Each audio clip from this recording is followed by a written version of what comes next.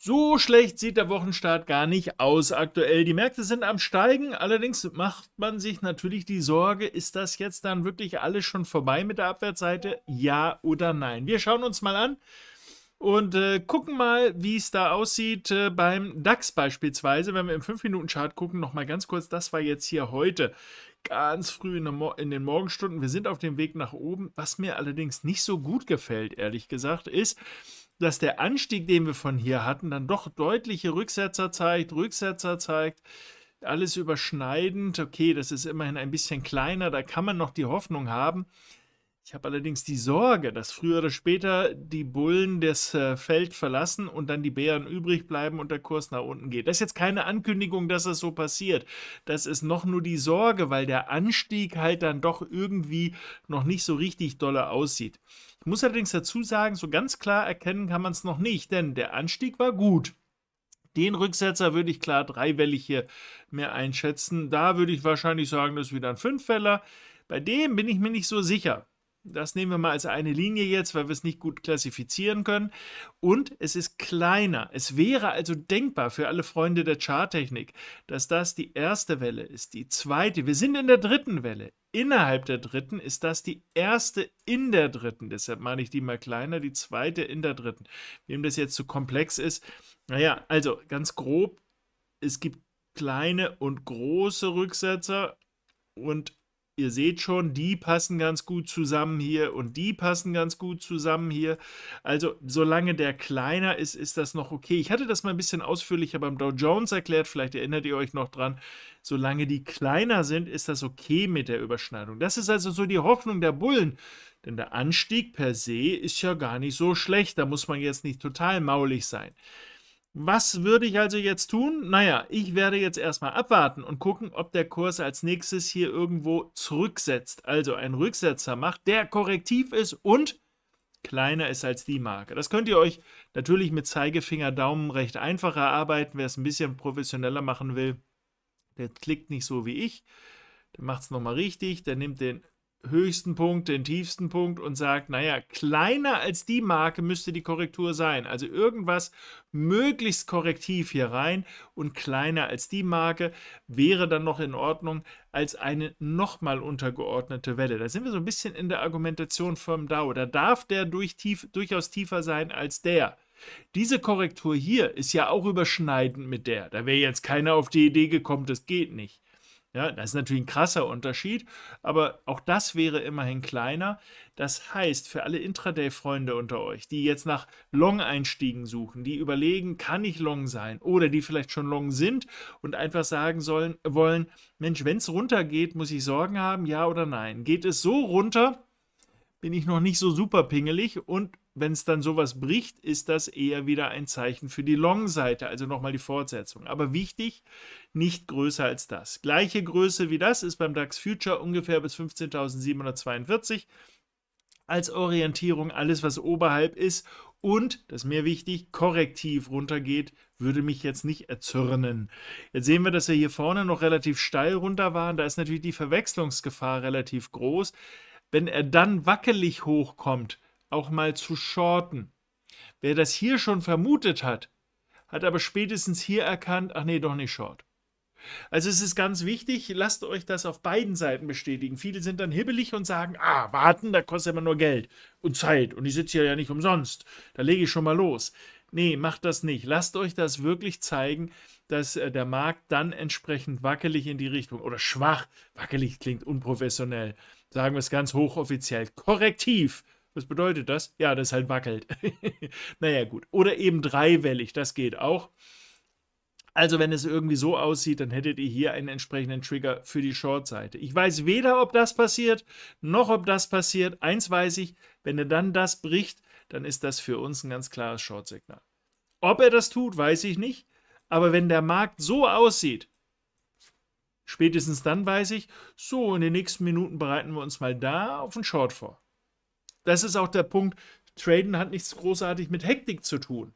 Ja, selbst im 5-Minuten-Chart habe ich ja noch Vorbereitungszeit, weil ich sehe jetzt hier, dass diese Marke eine Trigger-Marke wäre für Fortsetzung nochmal nach unten. Das heißt, dann kann ich sagen, okay, dann bereite ich den Trade vor, darunter gehe ich halt auf die Short-Seite. Das ist jetzt natürlich nur vereinfachte Darstellung. Jemand hatte eigentlich völlig zurecht geschrieben, ah, das ist, äh, naja gut, den ersten Teil kann ich nicht sagen, ganz gut erklärt, sagte er. Das lasse ich mal so im Raum stehen, das müsst ihr bewerten. Aber er sagte oder schrieb, ähm, aber handeln kann man das nicht. Da hat er nicht ganz unrecht, denn das, was ich euch hier zeige, ist ja noch nicht ein fertiges Setup. Ich kann mir vorstellen, viele würden sich das wünschen. Das Problem ist, abgesehen davon, dass ich das nicht darf, ich kann nicht jetzt hier ein Setup, das für alle Menschen auf der Welt gleich geht. Da kommt sofort die BaFin und sagt, das ist Anlageberatung, das kannst du hier nicht bringen. Nein, Abgesehen davon gibt es sehr unterschiedliche Händler. Einige lieben von euch Trefferquote und sagen, es ist mir egal, ob ich mehr Chance oder Risiko habe, Hauptsache die Trefferquote stimmt. Andere sind, äh, was das angeht, die wollen mehr Bewegung dann drin haben. Man kann nicht jetzt übers Knie, jetzt über so ein Video jetzt das verallgemeinern und sagen, für alle Menschen auf der Welt ist ähm, Jetzt dann der Stop hier gut, das, äh, der, die Trailing-Mechanismus so gut, das Target so gut. Einige, einige gucken das auf der größeren Ebene, andere haben vielleicht auch einen Broker, wo das gar nicht so sinnvoll umsetzbar ist. Also das ist schwer, das jetzt zu sagen, so müsst ihr das jetzt alle machen. Ich weiß, ihr kennt, dass wir immer wieder Trades vorstellen, über den Trade des Tages oder auf Born for Trading. Das, äh, da kriegt ihr ja dann äh, konkrete Vorstellungen mal mit, wie wir das machen. Aber es ist nicht einfach zu sagen, ihr müsst das alle so machen. Das sind dann einige total unglücklich und sagen, aber so wünsche ich mir das nicht. Das müsstet ihr dann entsprechend noch gucken. Entweder ihr habt schon eine Mechanik, die ihr verwendet, dass ihr sagt, oh, das ist ein super Filter. Wenn ich sowas sehe, dann trade ich halt die Long-Seite nicht mehr, sondern dann trade ich halt die Short-Seite. Oder umgekehrt, wenn das, was ich zuerst gesehen habe, eher so runterkommt, ja, dann weiß ich doch, mein Filter für den Nachmittag ist, wenn ich auch hier vielleicht nicht long gehe, weil ich nicht so genau weiß, wie ich hier umgehen soll mit Stop und, und dem Ganzen, dann habe ich hier meinen Filter heute vorläufig eher für die äh, Long-Seite, denn noch ist immer die starke Seite aufwärts und die schwache Seite ist dann abwärts. Also der, die, der Hinweis ist durchaus berechtigt. Ähm, ihr müsst natürlich äh, euren eigenen, euer eigenes Setup dazu noch haben. Das kann ich nicht für alle jetzt äh, allgemeingültig sagen, genau so müsst ihr es machen, so, so ist das. Das äh, geht so leider nicht. Auch wenn ich das an einigen Stellen für einzelne Trades immer mal wieder zeige, wie wir das machen. Aber auch einige sind mit meiner Art zu traden nicht glücklich, weil die eben sagen, ah, aber Rüdiger, mh, hm, das oder das gefällt mir nicht oder jenes nicht. Ich würde das ganz anders machen. Und das ist auch völlig richtig. Jeder hat andere Zeiten, die er handeln kann, die er daneben sitzen kann, das betreuen kann. Jeder hat unterschiedliche Risikovorgaben, Gewinnerwartungen und äh, Bereitschaft, auch Risiken aufzunehmen.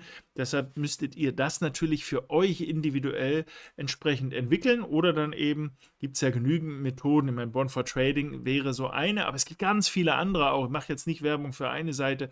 Da guckt das, was für euch passt äh, wo ihr euch äh, inspirieren lassen könnt, damit ihr es für euch erarbeiten könnt, wie das eben entsprechend sein sollte oder sein kann. So, aktuell zusammengefasst ist das hier eine Variante, die ich schick finde. Das ist noch relativ steil. Kleinere Rücksetzer, Korrektheiten. Allerdings äh, müssten sie wirklich korrektiver Natur sein. Und das sehe ich im Moment noch nicht, weil wir ja noch keine Gegenbewegung, also hier keine Gegenbewegung zu sehen haben. Ich habe euch verschiedene Varianten aufgezeichnet. Für die etwas langsameren Trader unter euch, und das meine ich gar nicht böse, bietet sich auch noch ein Trade. Denn wenn ich hier mal ein bisschen rauszoome, dann würdet ihr wahrscheinlich sagen, wieso, das ist doch steil abwärts und jetzt korrektiv. Der Trigger dafür wäre aus meiner Sicht diese Marke. Wenn er da durchgeht, dann bin ich relativ sicher, kriegen wir auch noch mal eine Fortsetzung nach unten. Das ist zum Beispiel eine spannende Geschichte, weil viele immer sagen, ja, guck mal, aber jetzt hast du Long empfohlen, äh, empfohlen sowieso nicht, aber Long-Beispiele gebracht, Short-Beispiele gebracht, was soll ich denn da machen? Naja, eine Möglichkeit ist, wie ich es angedeutet habe, auf den Trigger warten. Jetzt gehe ich nicht Short. Warum soll ich jetzt Short gehen? Ich weiß ja noch nicht, ob er sowas macht dann warte ich eher auf Long und das ist dann eine aktive Long-Situation, aus meiner Sicht zumindest mal. Wenn er allerdings das bricht, dann haben wir die Mechanik steigende Tiefs, steigende Hochs durchstoßen. Das heißt, wir haben ein realistisches Ende der Aufwärtsbewegung. Die Abwärtsbewegung war die letzte starke. Naja, wenn die ein mögliches Ende der Aufwärtsbewegung ist, dann wird ja wohl die andere Richtung kommen. War die stark? Yep. Also nochmal die Fortsetzung nach unten. So könnt ihr euch orientieren. Das Tief, das war das vom 28. um 12 Uhr mittags, also was wir heute Mittag hatten, das Tief. Das wäre für mich ein sinnvoller Short-Trigger, wenn der Kurs jetzt da durchgeht. Und wer jetzt ein bisschen aktiver ist, der kann ja sagen, Mensch, Herr Rüdiger, hattest du nicht eben erwähnt, steil runter, wackelig hoch? Dann wäre das schon ein Short-Trigger. Richtig. Meine Zielerwartung wäre das, nochmal nach unten. Und dann seht ihr, dann kann ich an der, ich mache es mal groß, dann kann ich an der Stelle schon erkennen, dass mein erwartetes Ziel hier ist und damit unter diesem Trigger hier. Das heißt, ich kann an der Stelle schon erwarten, dass wir ja auch dieses hier fortsetzen und eine realistische Chance haben, das nochmal zu bekommen. Und das ist das, was ich natürlich besonders attraktiv finde. Leider schenkt mir der Markt nicht immer solche Situationen. Aber nehmen wir mal, er macht das. Dann kann ich an dieser Stelle, wenn das passiert, sehen, Trigger wäre diese Marke. Mit Erwartungshaltung nicht nur hier, sondern sogar hier ich habe alle Zeit der Welt, den Trade in aller Ruhe vorzubereiten, bis er dahin geht und freue mich, dass ich übersichtliches Risiko habe. Ich mag gerne den engen Stop hier.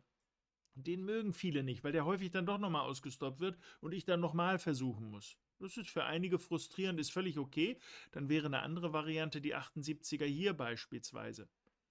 Manch einer würde auch auf das Hoch hier den Stop legen und sagen, naja, nur nicht weiter hoch, denn wir haben ja gesagt, wir wollen keine steigenden Hochs mehr. Also können wir sicher sein, dass wir dann raus wollen aus dem Markt. Ja, ihr seht, da gibt es drei verschiedene Stopp-Varianten, die alle Vor- und Nachteile haben. Der untere hat am meisten Schwung, weil ihr wenig riskiert und wahnsinnig viel gewinnt. Aber leider werdet ihr da häufiger daneben liegen wie mit dem weiteren.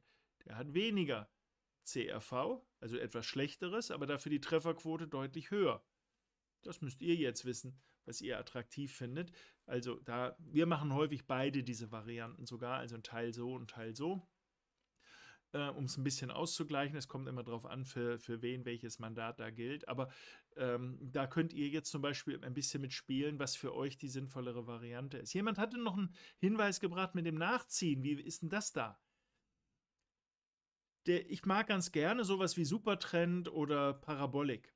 Aber das ist häufig schwierig, den richtigen zu finden.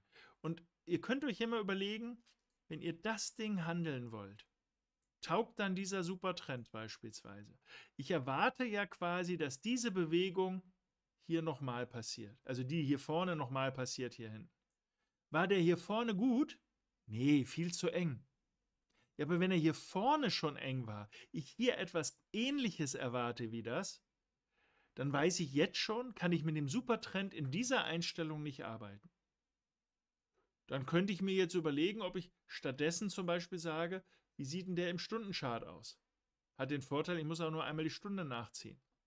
Und ich stelle mir fest, ah, ich erwarte das nochmal. Im Stundenchart war der gut.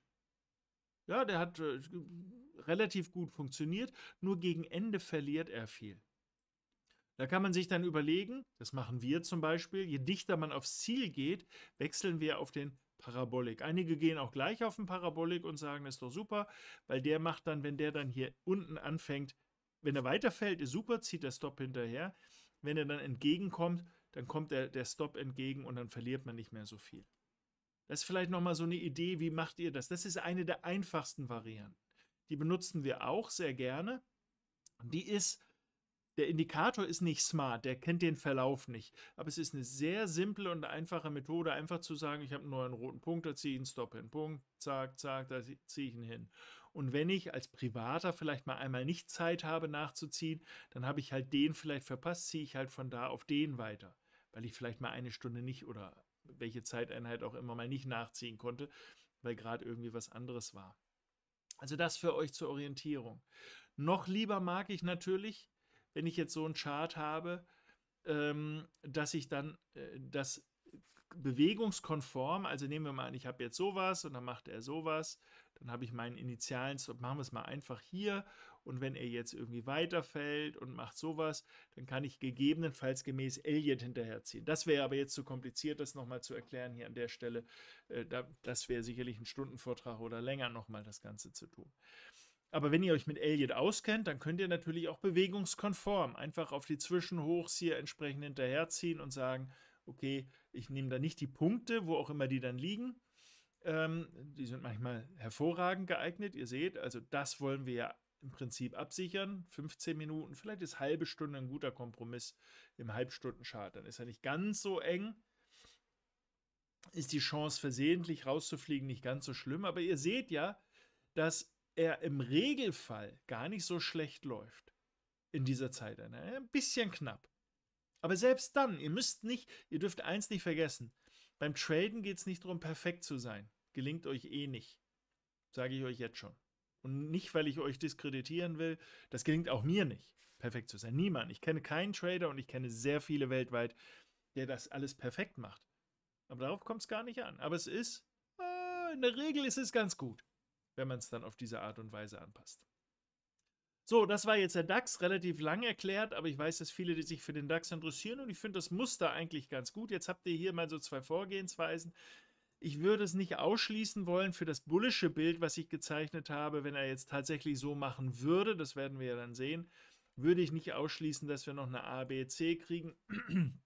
Vielleicht dann noch mal einen Abschluss runter, denn eigentlich wisst ihr, mm, ich sehe das immer noch, dass es hier passiert. Ich will das nicht, keine Unkenrufe, ja, also ich weiß jetzt nicht, ob das passiert, aber wir dürfen nicht sagen, absurd, da geht der nie wieder hin. Ja, das wäre statistisch gesehen nicht sehr smart. Ja, kalkuliert das entsprechend ein. Dow Jones zumindest mal auf den ersten Blick macht einen guten Eindruck. Theoretisch hätte ich gesagt, hier wäre eigentlich eine ganz gute Wende, aber wenn die Marktteilnehmer vorher drehen, ist ja auch ganz gut. Jetzt sehen wir zumindest im 4-Stunden-Start, dass der Markt vom Tief relativ stark nach oben ist. Über die Details kann man noch vielleicht ein bisschen nörgelig sein, die sehen wir gleich beim S&P nochmal genauer vielleicht, aber im Wesentlichen könnte man sagen, das ist eine erste, dann hatten wir hier eine Pause, zweite, hier eine Pause, plus durch die Nacht lang. Das ist wegen Nachthandel hat sich das in die Länge gezogen und eine fünfte. Das heißt, wir sind so halbwegs fünffällig nach oben und jetzt A, B, C. Es ist nicht so 100% toll wegen den Längen, wegen der Längen, um es auch schön zu sagen, wegen der Längen hier ist es nicht ganz so toll, äh, weil die dritte eigentlich ein bisschen länger wäre schöner. Ne? Aber naja, nehmen wir mal im Moment hin, was wir bekommen haben. Wenn er wackelig runterkommt oder dreiwellig, ja, oder für, äh, für die Profis von euch korrektiv runterkommt, ihr wisst ja, was korrektiv ist, zack, wäre dann hier ein Long-Einstieg. Und wer sagt, das sehe ich ja immer erst so spät, den vorbereiten könnt ihr den hier. Dann habt ihr nämlich den Punkt und den Punkt, ihr habt den und den und wisst, das wäre mein Trigger, falls er da hinkommt. Und wenn er nach unten wegbricht, habt ihr nichts gemacht. Und wenn er dann nach oben geht, dann habt ihr alle Zeit der Welt. Das wird ja mehrere Viertelstunden dauern, bis er dann dahin kommt. Dann könnt ihr euren Trade entsprechend platzieren, wenn er das so macht. Die Chancen dafür sehe ich als durchaus gegeben, denn der Anstieg ist einigermaßen okay. Jetzt ein Rücksetzer, ich mache es nochmal groß, ein Rücks... Ich mache es nicht groß, ich mache es doch groß. Ein Rücksetzer ungefähr in diesem Bereich sollten wir aber auch aus bullischer Sicht einplanen. Und dieser sollte, wenn es wirklich bullisch sein sollte, möglichst korrektiv eben aussehen, so wie Korrekturen eben aussehen. Und dann, wie gesagt, die Trigger, die wir da haben. Für den Fall, dass er aber nicht korrektiv, sondern so runtergeht, also relativ steil, so wie wir es hier hatten oder an anderen Stellen zuvor, und er dann nur wackelig hochkommt, äh, abwärts, abwärts, abwärts, sucht, dass er triggert hier. Mutige oder sehr professionelle, die erkennen können, dass hier Wänden sind, zum Beispiel durch Umkehrkerzen, durch äh, Cluster von verschiedenen Widerstands- oder Fibonacci-Marken, vielleicht auch Indikatorenmodelle, die ihr entwickelt habt, ähm, die dann hier, dann braucht ihr nicht auf das zu warten hat eine höhere Unsicherheit, wenn ihr da shortet, hat aber ein besseres Chance-Risiko-Verhältnis. Da müsst ihr aber den Stop ein bisschen anders hantieren. Das hängt davon ab, welche Methodik ihr da gewählt habt. Das ist natürlich jetzt bei den anderen Indizes in Amerika nicht ganz anders. Wir hatten es ja letzte Woche schon angedeutet, eigentlich müsste der sowieso mal hochkommen, denn selbst wenn er noch mal tiefer geht, was ich mir sehr gut vorstellen kann, es ist nicht Pflicht, dass er es macht, aber es vorstellen könnte ich es mir sehr gut als ähm, Ansatz hier vorne das nochmal. Nicht alles, was ich mir vorstellen kann, passiert im Leben, aber ähm, wir können jetzt nicht sagen, völlig absurd. Aber wenn wir diese Bewegung jetzt hier irgendwie nach oben, das kann ich mir schon vorstellen, dass es das nochmal macht. Und wir hatten hier ebenfalls so ähnlich wie wir es beim Dow hatten, eine erste hier vorne Korrektur, das hier Korrektur, die ist länger wegen der Nacht. Na, da müssen sie ja irgendwie die Zeit totschlagen, bis sie wieder da sind. Und äh, dann nochmal das, das ist ein Fünffeller. Wenn wir hier korrektiv jetzt runtergehen, auch hier nochmal gemessen, S&P Future, tiefster Punkt, höchster Punkt, die Kiste ist von 4300, naja, 96, aber ich würde ruhig ein bisschen tiefer, also 4395, irgendwie sowas in Richtung, bis hoch 4418, irgendwie so in, der, in den Bereich. Aber wichtig, so gilt nicht. Dann kommt nämlich vielleicht sowas und dann ist es eher noch ein Short. Was ja auch okay wäre. Dann hat man noch mal einen Zwischenshort gemacht, dann wären wir A, B, C. Und dann müsstet ihr ernsthaft aufpassen. An der Stelle ist ja das oder das möglich. Wir nehmen gerne dann Gewinne mit. Also wenn wir das vorne und hinten hatten, nehmen wir gerne hier Gewinne mit, weil hier wird wieder neu verhandelt. Ja, also bitte jetzt nicht exakt diesen Punkt. Ich weiß ja nicht, wie die Größenordnungen sind, aber nehmen wir mal an, das sieht so aus, dann wäre ungefähr da der Punkt, was dann beides noch möglich macht. 1, 2, 3, 4, 5, A, B, C, und Trigger hier für Long. Alles, was wackelig hochgeht, Trigger für weitere Shorts. Stop nachziehen, zumindest mal auf dem Einstieg da, weil negativ wollt ihr sicherlich dann nicht mehr werden. Aber ihr seht, wir haben eine realistische Chance jetzt in dem Nachmittagshandel erst nochmal nach unten. Und dann wird sich entscheiden, wenn das korrektiv ist, Nasdaq ebenso hier, Nasdaq eigentlich wunderschön, wackelig jetzt hier runter, bietet Long-Einstiege. Merkt euch das. Wenn er das tut, tiefster Punkt, höchster Punkt. Da muss er rein. Merkt euch vielleicht noch so ein bisschen, er sollte nicht so steil. Also idealerweise sollte er jetzt ein bisschen noch zur Zeit totschlagen, um dann eben triggern für die Long-Seite. Triggert er nicht, fällt er nach unten durch, ist es kein Thema. Also aktuell die nächsten Stunden wohl erstmal, ja, Stunden würde ich wohl sagen, eher die Abwärtsseite. Wenn das Korrektiv ist, irgendwas auf der Nordseite triggert, dann zumindest mal das, was wir hier haben, nochmal. Das ist der Klassiker. Ja, das würde auch im großen Bild ja durchaus in Ordnung sein. Dann haben wir halt irgendwie sowas. Und dann könnte er trotzdem nochmal einmal runterkommen. Dann hat er halt seine blöde Korrektur dahinter sich. Dori nochmal. Und dann soll er halt anschließend steigen. Also das ist noch keine Ansage jetzt. Das sehen wir ja dann da unten irgendwo. Ich hoffe, dass ich euch damit inspiriert habe, wie ihr auf die Märkte gucken könnt, wie ihr das äh, gestalten könnt. Natürlich, das ist natürlich schade. Viele wünschen sich, nee, nee, sag einfach hier, da long, da short. Ähm, aber Traden funktioniert halt nicht. Leg mir mal meine Hand in den Schatten, dann müsst ihr es äh, nicht selber machen. Wenn ihr sagt, eh, ich handle das nur eins zu eins nach, wie jemand, der das sagt, das ist dann wieder eine ganz andere Baustelle. Aber wenn ihr selber das ein bisschen aktiv in die Hand nehmen wollt und es ein wenig geübt habt, guckt, wie ihr euren Handelsansatz entwickelt. Ich stelle euch immer mehrere Varianten vor, in der hoffnungsvollen Erwartung, dass ihr ähm, das so gestalten könnt, dass ihr da was Schönes draus bauen könnt, was für euch auch sinnvoll ist. In diesem Sinne, euch jetzt erstmal alles Gute, ganz liebe Grüße und bis zum nächsten Mal.